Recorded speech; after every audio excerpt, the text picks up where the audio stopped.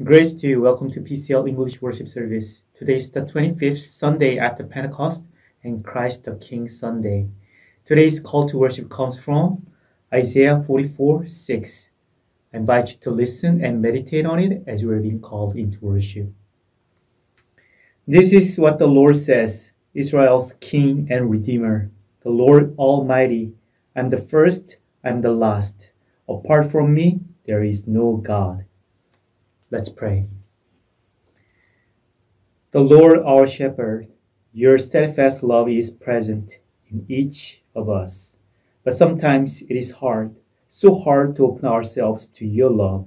We feel like scattered sheep, frightened and alone. Help us know your loving presence as we live as your gathered community.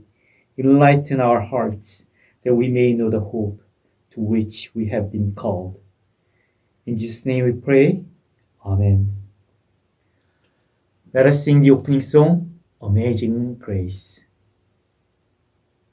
Amazing grace, how sweet the sound that saves a wretch like me. I once was lost, but now but now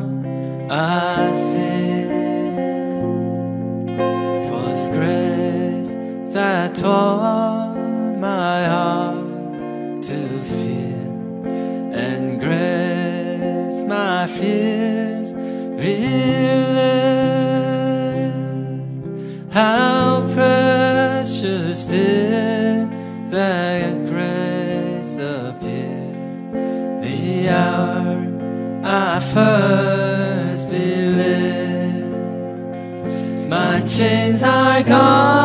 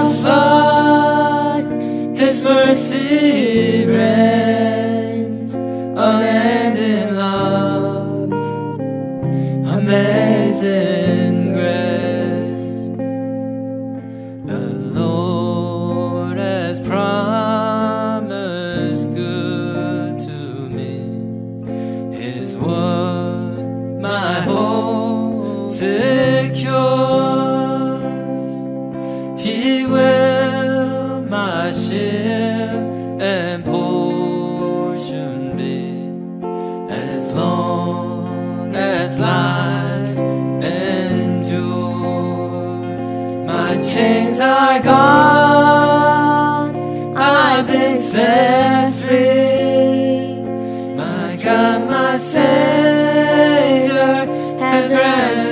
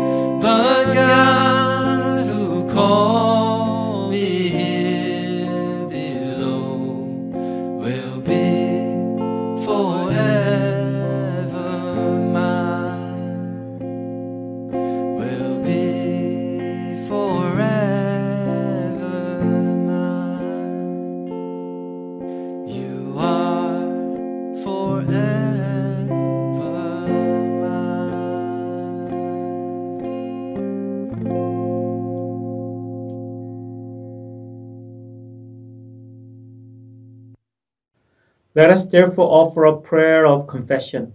Let's pray together. Holy One, we are like sheep that stray from your fold. We are the perpetually hungry, ever in spiritual need, and at times in physical want. We are the naked, with wounds exposed and bleeding. We are the sick, fevered, chilled, and in pain. We are the strangers separated from others and even from ourselves. Hear us now as we confess our brokenness and our need. In Jesus' name we pray. Amen. Now let us spend a moment of personal and silent confession.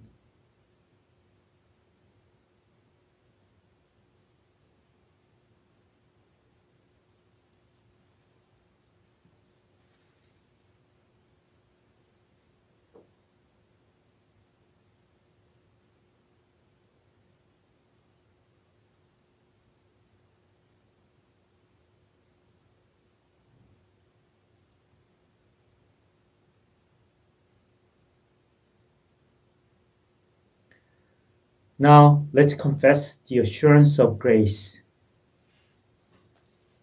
Friends, believe and proclaim the good news.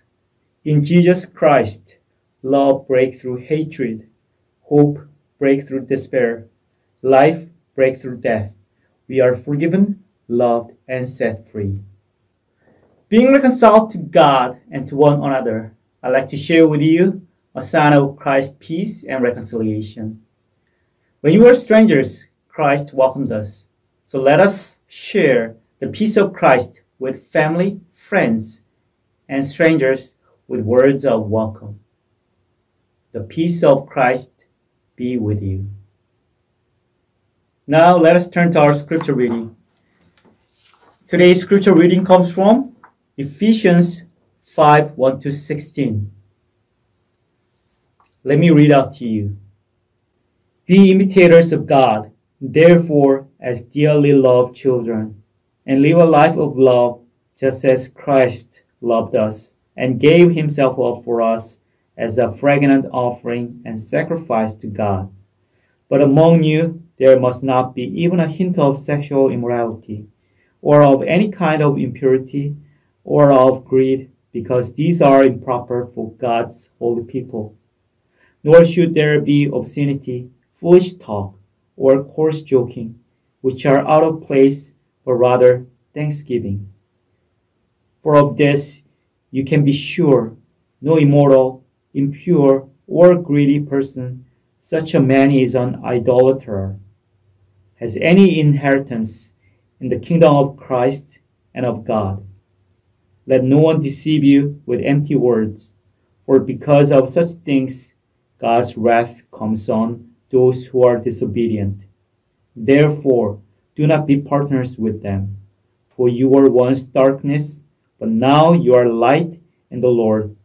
Live as children of light, for the fruit of the light consists in all goodness, righteousness, and truth, and find out what pleases the Lord. Have nothing to do with the fruitless deeds of darkness, but rather expose them for it is shameful even to mention what the disobedient do in secret. But everything exposed by the light becomes visible, for it is light that makes everything visible. This is why it is said, Wake up, O sleeper, rise from the dead, and Christ will shine on you. Be very careful then how you live not as unwise, but as wise, making the most of every opportunity because the days are evil. This is word of the Lord. Thanks be to God. Did you sleep well last night? That's a common greeting or another way of saying hello here in Korea. We ask this question a lot when people are away from their own beds at home. Regardless of how we say hello, sleeping is a very important matter for everyone. Doctors say that Most people need seven to eight hours of sleep per night to function at their best. I think some people need more than that. Uh, since sleep is such a huge part of the human experience, it is not surprising that the Bible uses the word as a figurative expression to make a point. And there are many different ways in which the term is applied in the literature of the scripture. Speaking about sleep in general, it is associated with a mysterious necessity of life. The mysterious sleep uh, defies exact analysis by even modern science. Sleep is a miracle that happens more than 25,000 times in a normal human lifespan. Can you believe that? Also, not only for us, all living creatures on earth experience sleep. However, there are some exceptions, like a bullfrog. It doesn't sleep. It only takes a rest. I know it is odd, but it rests as though sleeping. I really cannot tell the difference. I guess the creature uh, doesn't close its eyes while sleeping. I'm not sure. I don't really know how it works. Anyway, my point is that sleeping is universal experience for pretty much all creatures you can find on earth except God. Because God is spirit, he is formless. So, he does not need to sleep. It's simple as that. But the concept of sleeping is biblically employed with figurative language to stress certain truths about God. Psalm 121 3 4 says, He will not let your foot sleep. He who watches over you will not slumber. Indeed, he who watches over Israel will neither slumber nor sleep. The Bible emphasizes the fact that the Lord is ever watchful of our needs. As a result of the Lord's providential care, the faithful people take consolation. So, Psalmist says, I will lie down and sleep in peace, for you alone, O Lord, make me dwell in safety. On the other hand, when the people of Israel drifted into sin and the Lord allowed them to suffer in the consequences of their rebellion, it was as if he was asleep. Thus, they exclaimed in Psalm 44 23, Awake, O Lord, why do you sleep? Rouse yourself, do not reject us forever.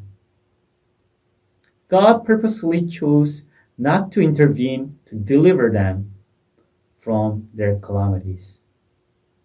I hear this claim a lot lately, and I'm sure you know why. So, except God alone, I think sleep is a universal necessity, like water, food, and air. Sleep is necessary for all at least from a human point of view, it is an essential function that allows our body and mind to recharge and leaving us fresh and alert when we wake up. Healthy sleep also helps the body remain healthy and stave off diseases.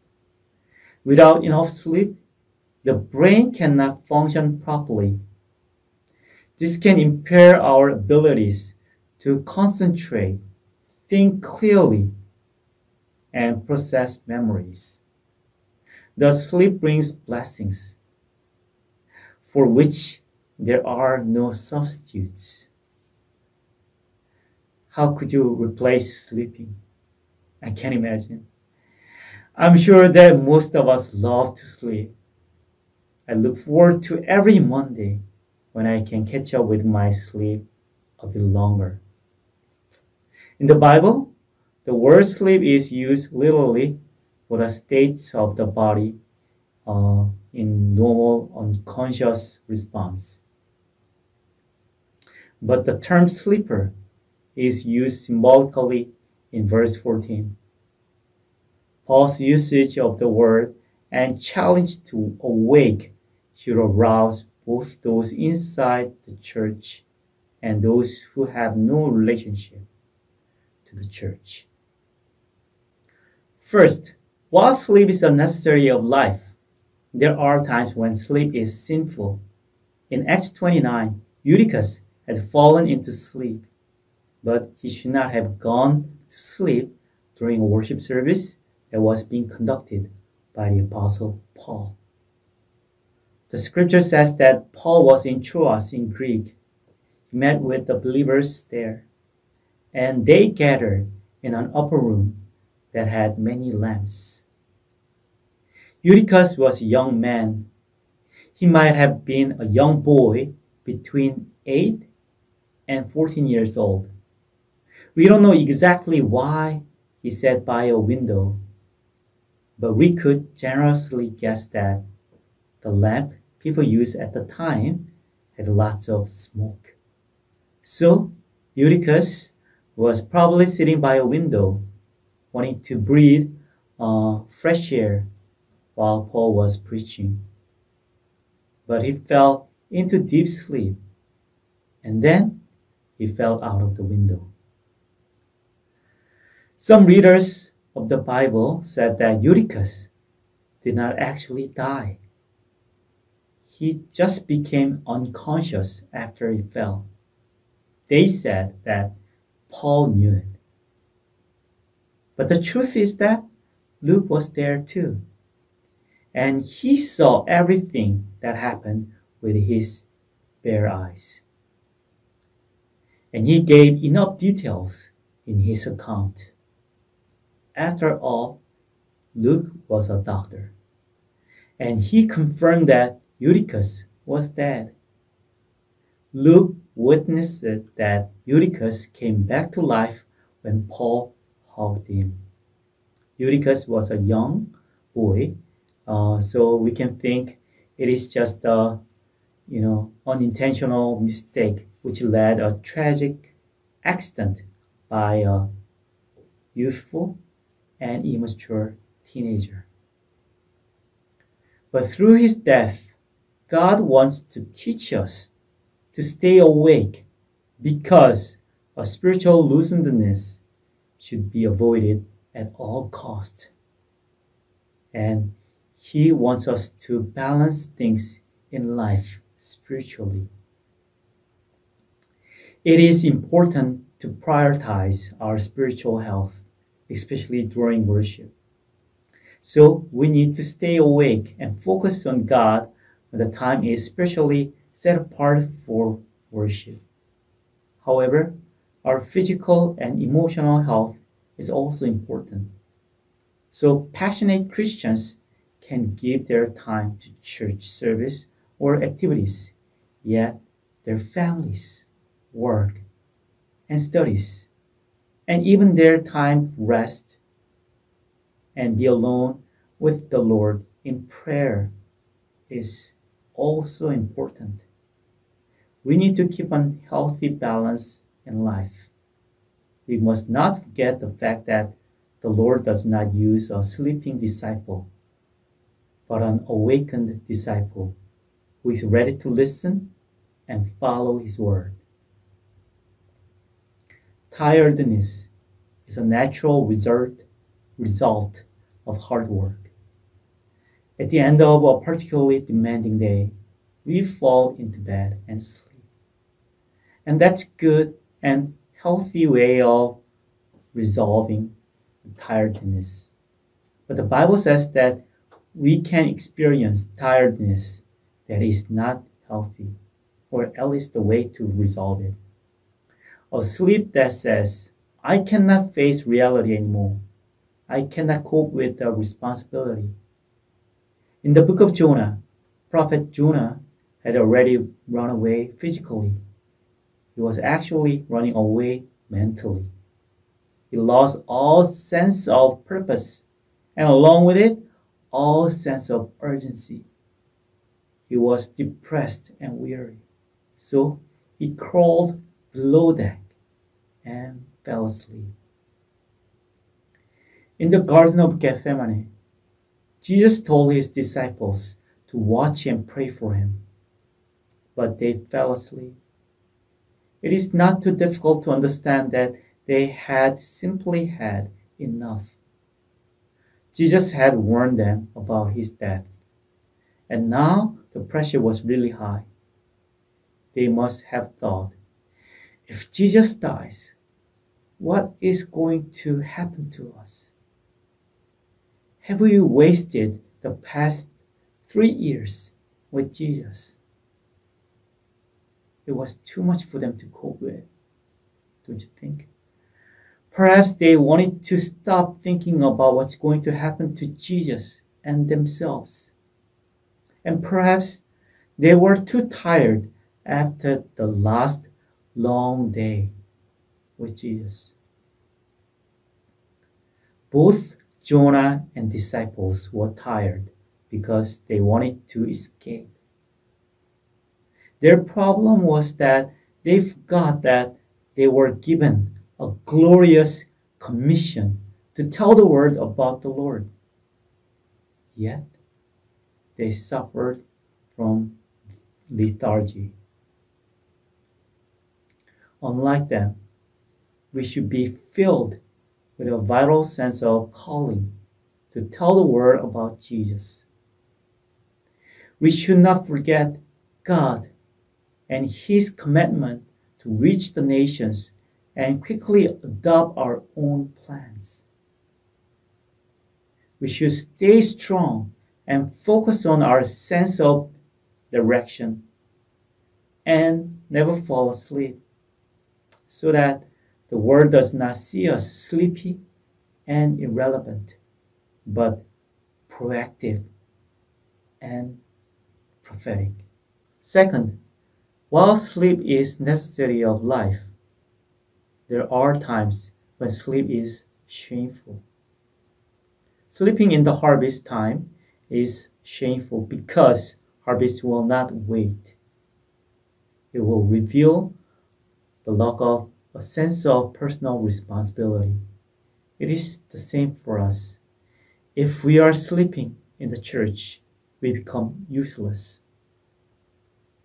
Because the church needs an alive worshiper who is awake and alert. Also, even if we are not physically sleeping, if our biblical understanding is not applied in our hearts, we cannot hear the voice of God and experience the presence of God. If there is no effect or change on our way of life, we will not find true joy in the house of God. If you are not interested in the church worship service or anything for that matter, it will be such a disgrace. When things like leisure, sports, recreation, entertainment, you name it, there are so many lists. Whatever that is, if they take a large part of our time or replace our time of worshiping God, spiritual sleep has crept in. And if we don't wake up from there, the enemy will come and sow tears or lay eggs. Then what happens next is if and when we encounter any spiritual challenges, we will not be aware of them, and they will be the source of the sins without our conscious breaking us. So the aspiration for holiness will be no longer paramount in our hearts when we look for the Bible to back up our unholy behavior. We know the truth, but we tend to be running away from it. And talking about Jesus or spiritual truth becomes highly embarrassing because we cannot behave like a Christian anymore. When the acquisition of worldly material is the central part of our thinking, and we found it difficult to give up our wealth or share it with our neighbors, we'll be sleeping in shame. Spiritual sleep is not only defined by laziness, apathy, and being unprepared or ungodly lifestyle, but it is commonly used as a designation for death in the Bible. For example, Psalm 13:3 says, "Look on me and answer, O Lord my God, give light to my eyes, or I will sleep in death." There are several reasons why death has figuratively depicted as sleep. However, I think the most important reason is that as the sleeping person awakes and rises from his or her bed, the dead will rise from their graves at the time of the Lord's return. The term sleep implies the future resurrection of the human body. Paul clearly states in 1 Corinthians 15:20 that Christ is the first fruit of them that are asleep. This is a clear affirmation that the resurrection of Christ's body is heaven's pledge that will be raised similarly. As Lord Jesus walked from the dead, so shall we. Ever since the outbreak of COVID 19, our real time church worship service to God turned to online worship service. That was a somewhat awkward experience for those who want more hands on fellowship and church activities. Since it has been almost 10 months by now, I can't believe it's going to be a year soon. I just want to check if you're okay. I want to encourage you that you are doing okay if you are faithfully attending either online or offline worship service and continuing your intimate relationship with our Lord Jesus. However, if we have drifted away from our Lord, meanwhile, I want to remind us that we are beloved followers of Jesus Christ. So we need to awake from the sleep of indifference and disobedience. It is time for us to become alert and responsive to the command of our Lord and the leadership of the Holy Spirit. Although it is not exact time for us to be in the fields of physical gathering of our Lord. But our hearts and minds can always focus on Jesus by continuing our worship, prayer, and the meditation of His words at home, anywhere. So this week, let us stay awake, alert, and attentive let's open to God's Word and to the whisper of the Holy Spirit. If you have felt you've been asleep, please don't worry. God has a heart for backsliders. He will embrace them, whispering through the storms, I am with you. You have run away from me but I still love you because I'm not done. I'm not done with you. I want you back. I want you back with me again. the God of resurrection can blow away all the dust that has gathered on our sleepy faith and infuse our lives with His Holy Spirit. God will help us awake, and the Word will come to know the new life in His loving arms as it opens the eyes of the heart. Let's pray. Lord Jesus, wake us up from every spiritual sleep in your holy name. Help us so that we can be in tune with you always, like you. In Jesus' name we pray. Amen. Now let us sing the responsive song I am the God that hears thee.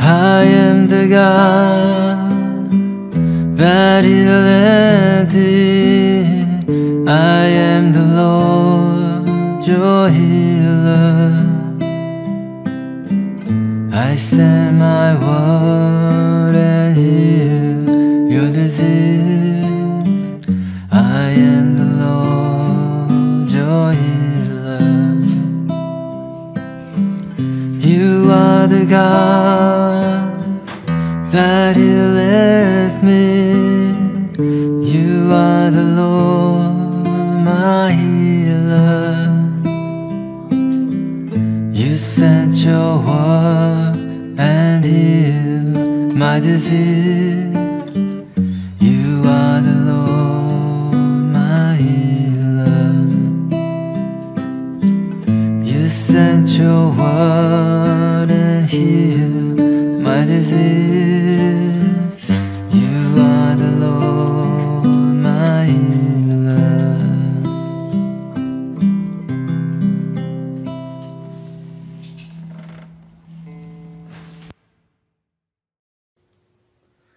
Let us close today's worship service with the offering prayer and benediction. Father God, you have given us all that we have and all that we are. Through the gifts you have given us in our lives, help us be the shepherds and healers and lovers that you are calling us to be. Lord Jesus Christ, you have raised people from death and promised your salvation. Please forgive us for trying to create our own rest. And please wake us up from all spiritual sleep that can kill our spiritual awareness and remind us that we will never find rest until we find rest in you.